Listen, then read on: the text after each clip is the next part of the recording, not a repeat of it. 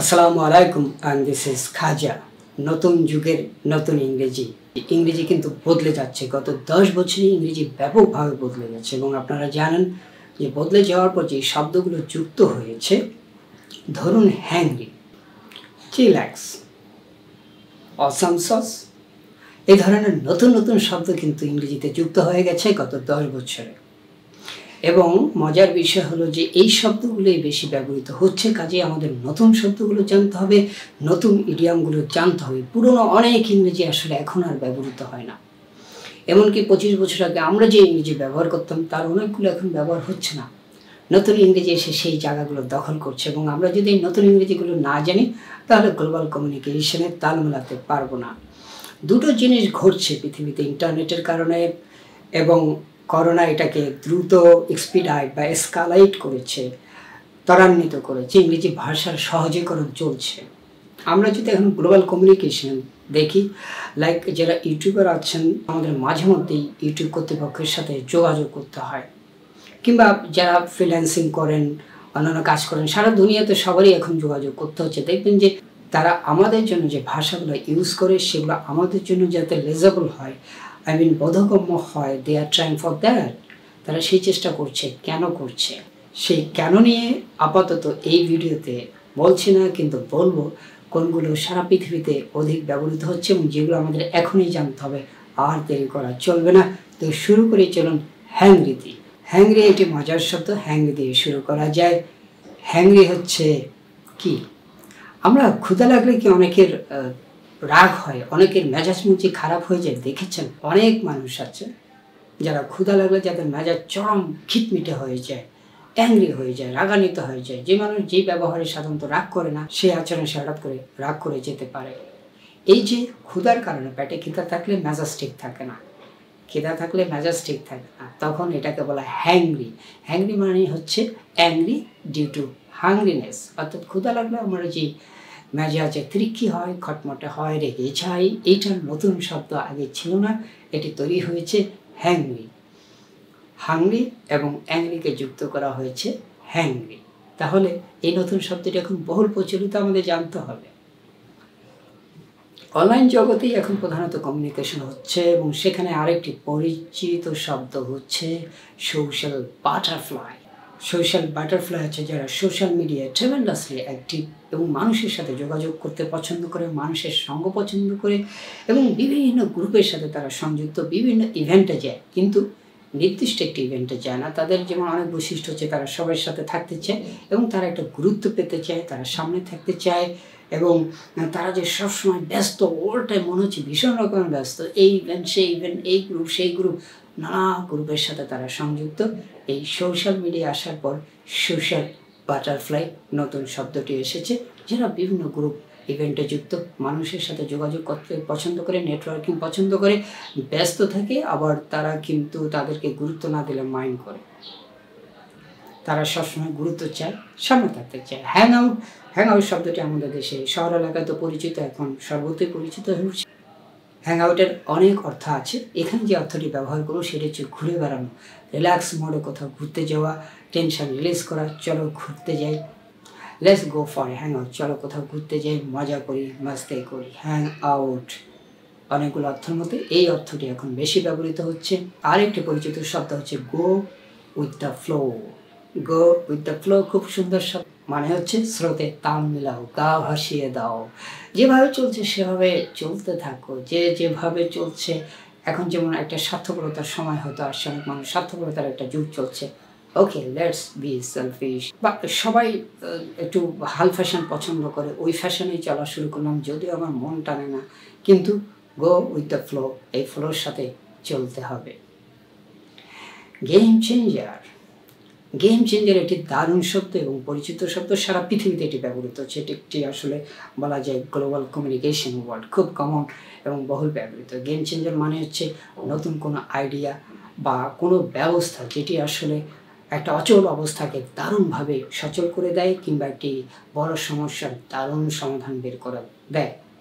ধরা যাক আগে আমাদের টাকা লেনদেন এখন অনেক সহজ হয়ে গেছে। এই গেম চেঞ্জিংটা কীভাবে হলো? Mobile banking is a game changer মানুষের জীবনকে অনেক সহজ করে দিয়েছে, হাজারো সমস্যার সমাধান করেছে মোবাইল ব্যাংকিং তারপরে ধরেন যে পৃথিবীতে পরিবেশ দূষণ একটি বড় সমস্যা, এর জন্য কত আইডিয়া নিয়ে কাজ করছে, তাই না? ধরুন ডাবল স্কার এটা একটা দারুণ গেম চেঞ্জিং কনসেপ্ট এবং এটা গেম চেঞ্জার হতে যাচ্ছে পৃথিবীতে। ড্রাইভারবিহীন গাড়ি চালু হবে, তাতে অ্যাক্সিডেন্ট কিন্তু অনেক কমবে। বিদ্যুৎ দিয়ে গাড়ি চালানোর চেষ্টা চলছে সোলার দিয়ে অ্যারোপ্লেন তৈরির চেষ্টা চলছে।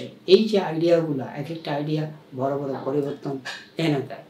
আবার রাজনীতিতেও দেখুন যে অহিংস আন্দোলন, সেটিও ছিল একটা বড় গেম চেঞ্জার গান্ধীজি একজন বড় গেম চেঞ্জার ছিল। রাজনীতিতেও যেমন গেম চেঞ্জার থাকে, প্রযুক্তিতে থাকে, এক একটা আইডিয়া পৃথিবীকে বদলে দিতে পারে। সেই বদলে দেওয়া আইডিয়াগুলোকে বলা হয় কিংবা মানুষগুলোকে বলা হয় গেম চেঞ্জার হতে চান গেম চেঞ্জার পৃথিবীতে অনেক সমস্যা আছে। যেমন বাংলাদেশে করাপশন একটি বড় সমস্যা। এখানে এমন কোনো আইডিয়া আনতে হবে যাতে দুর্নীতির কোনো সুযোগ না থাকে। So that will be a game changer idea বিশ্বব্যাপী আরও আরেকটি কমন পরিচিত শব্দ হচ্ছে স্যান্স আর রানিং আউট মানে তাড়াতাড়ি তুমি তোমার সিদ্ধান্ত জানাও বা কোনো একটা ব্যবস্থা নাও, সময় কিন্তু চলে যাচ্ছে, সময় বহিয়া যায়। স্যান্স আর রানিং আউট নানা সময় ব্যবহার করা যায়। চাকরির সময়ের সময় বলতে পারি, বিয়ের সময় বলতে পারি সন্তানের সময় বলতে পারি, জীবন গুছানোর সময় বলতে পারি বা কোনো একটা সিদ্ধান্ত জানানোর বিষয়ে বলতে পারি।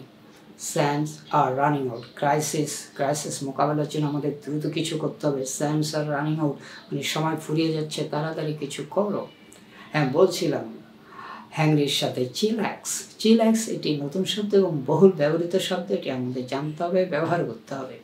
চিল্যাক্স হচ্ছে চিল আর রিল্যাক্সের সমন্বয় তৈরি আপনারা জানেন, এখনকার ইয়াং ছেলেমেয়েরা খুব বলে, চলো চিল করি চিল মজা করি, মস্তে করি, আনন্দ করি, ফুর্তি করি। তা আনন্দ ফুর্তির সাথে একটু রিল্যাক্সও দরকার। অর্থাৎ আপনি আনন্দ এবং রিল্যাক্স দুটোই একসাথে করবেন, সমতলে করবেন সিমালটেনিয়াসলি করবেন কিংবা ওয়ান আফটার অ্যানাদার পরপর করবেন, সেটাই হচ্ছে চিল্যাক্স পিস্টপ পিস্টপ শব্দটি অনেক বছর যাবৎ ব্যবহৃত হচ্ছে, কিন্তু ইদানিং সোশ্যাল মিডিয়ার কারণে এটা ব্যবহার বেড়েছে। যে কারও প্রতি রাগান্বিত হলে আমরা বলি pissed off your behaviour is making me pissed off মানে তোমার ব্যবহারে আমি খুব রাগান্বিত হচ্ছি, আমি খুব রাগ বোধ করছি, বিরক্ত হচ্ছি। আমাদের এমন কোনো আচরণ করা উচিত না যাতে আপনারা পিস্টপ হয় আমাদের প্রতি। টার্নিং পয়েন্ট একটি গুরুত্বপূর্ণ শব্দ টার্নিং পয়েন্ট হচ্ছে জীবনের মোড় ঘোরানো। আমরা যখন জীবনে আটকে যাই, হতাশ হয়ে যাই, কোনো একটা সুযোগ আসে, সেই সুযোগটাই আমার জীবনে মোড় ঘুরিয়ে দেয়। কোনো অবস্থার মোড় ঘুরিয়ে দেয় যে অপরচুনিটিসগুলো বা যে কাজগুলো, সেই যে পয়েন্ট থেকে আমরা উন্নতি শুরু করি। যে পয়েন্ট থেকে আমরা এগিয়ে যাওয়া শুরু করি, যে পয়েন্ট থেকে আমাদের হতাশাগুলো দূর হয়ে সামনে যেতে থাকি, সেই পয়েন্টটাই হচ্ছে টার্নিং পয়েন্ট জীবনের মোড় ঘোরানোর পয়েন্ট জীবনের বাঘ ঘোরানোর পয়েন্ট যেখান থেকে আমরা হয়তো ধ্বংসের দিকে যাচ্ছে যাচ্ছি, সেখান থেকে আমরা টার্ন করলাম। যে পয়েন্ট থেকে টার্ন করলাম, আশার দিকে, আলোর দিকে, সেটি হচ্ছে টার্নিং পয়েন্ট শেষ করব, একটি দারুণ শব্দ দিয়ে সারা পৃথিবীতে চলছে। আপনারা অসম সবাই আমরা ইউজ করি, কিন্তু অসমের পরের ভার্সানও চলে আসছে। সেটি হচ্ছে অসাম সস। অসাম সস শব্দের অর্থ কি? সুপার অসাম, সুপার ফ্যান্টাস্টিক যেটাকে শুধু ফ্যান্টাস্টিক বলে হচ্ছে না। সুপার ফ্যান্টাস্টিক যেমন আগের বার বলছে সুপার কুল তো সুপার ফ্যান্টাস্টিক বলে হচ্ছে না, বলতে হচ্ছে অসাম সস, যেটি হচ্ছে অসাধারণ অসাধারণ, যেটাকে ভাষায় আপনি প্রকাশ করতে পারছেন না। অনেক সময় আমরা অনেক কিছু ভাষায় প্রকাশ করতে পারি না, তখন অসম সস ইউজ করতে পারি। ওয়াও ওয়ান্ডারফুল তাতেও হচ্ছে। তখন আমরা ইউজ করব অসম সস মানে সুপার ফ্যান্টাস্টিক সুপার অসাম তো বেশ কয়েকটি নতুন চলমান শব্দ ব্যবহার করছি, নতুন যুগের মতন ইংরেজিগুলো জানার চেষ্টা করছি, আর একটি সবশেষে বলব আমাদেরকে এই ইংরেজি, এই গ্লোবাল কমিউনিকেশনের যে টার্মগুলো আছে, এগুলোর দিকে নজর দিতে হবে, কারণ বিশ্বে এখন আমাদের চলতে গেলে অ্যাকচুয়ালি গ্রামারের চেয়ে কমিউনিকেশন ফোকাসড হচ্ছে। কাজেই এই শব্দগুলো জানা আমার আপনার লাভ কী, এই শব্দগুলো জানা আমার আপনার সুবিধা হবে। সারা পৃথিবীর মানুষের সাথে যোগাযোগ করা বিভিন্ন প্রয়োজনে, জবের প্রয়োজনে হোক, ব্যবসার প্রয়োজনে হোক। আশা করছি নতুন শব্দগুলো থেকে নজর দিবেন। পুরনো ইংরেজিগুলোকে ছাড়িয়ে নতুন ইংরেজির দিকে একটু ঝোঁক বাড়াতে হবে এবং সায়েন্স আর রানিং আউট সময় কিন্তু চলে যাচ্ছে, কাজেই এই শব্দগুলো শিখতে হবে। আবারও দেখা হবে, কথা হবে ইনশাল্লাহ আসসালামু আলাইকুম।